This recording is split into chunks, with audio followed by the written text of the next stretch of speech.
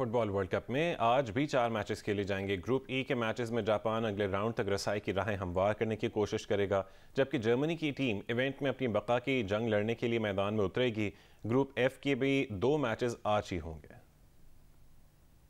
Qatar में जारी football world cup में आज भी चार मैचेस होंगे। दिन तीन बजे जापान और कोस्टारिका की टीमें आमने सामने होंगी। जापान ने पहले मैच में जर्मनी को दो एक से शिकस्त दी थी, जबकि कोस्टारिका को स्पेन से शिकस्त का सामना करना पड़ा था। आज के मैच में जीत जापान की अगले राउंड तक रसाई की राह हमवार कर देगी। ग्रुप ई का एक और मैच रात बारह बजे होगा, जिसमें दो सबक चैंपियंस जर्मनी और स्पेन का मुकाबला होगा। पहले मैच में शिकस्त के बाद जर्मनी के लिए इस मैच में जीत काफ़ी ज़रूरी होगी। दूसरी जानब ग्रुप एफ़ में बेल्जियम का मुकाबला मराकश, जबकि रात नौ बजे क्रोएशिया का मुकाबला कनाडा ऐसी होगा। ग्रुप एफ़ के पहले राउंड में बेल्जियम ने कनाडा को शिकस्त दी थी, जबकि मराकेश और क्रोएशिया का मुकाबला बराबर रहा था।